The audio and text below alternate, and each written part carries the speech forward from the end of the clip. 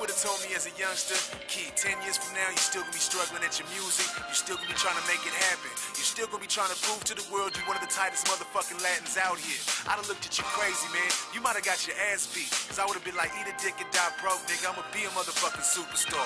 But little did I know I'd still be hustling. Bitches, dope, music, whatever it takes. The great paper chase. A ghetto soldier gotta get that pay, so I'ma hustle all night and day. I got bitches online and dope fiends keep calling, so ballin' is the only way. And even though I'm on the block with 30 other niggas, a loaded Glock in the pocket full of stones. I never in my life felt so alone. I can't wait till I get home.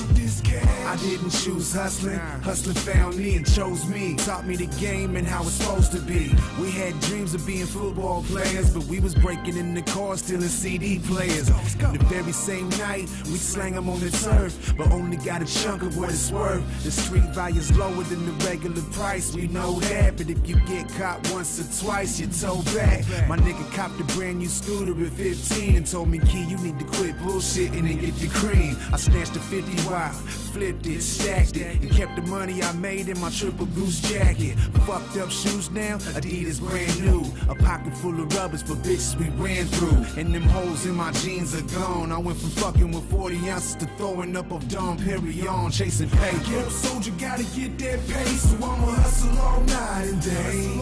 I got bitches online and dope fiends keep calling, so ballin' is the only way. And even with 30 other niggas, a loaded Glock in the pocket full of stones. I never in my life felt so alone. I can't wait till I get home. I started rapping and they told me I'd bubble in due time. But I was busy plotting and scheming, thinking of new crimes. We ran credit cards and maxed the motherfuckers out, smoking blunts and buy shares, tacked them up.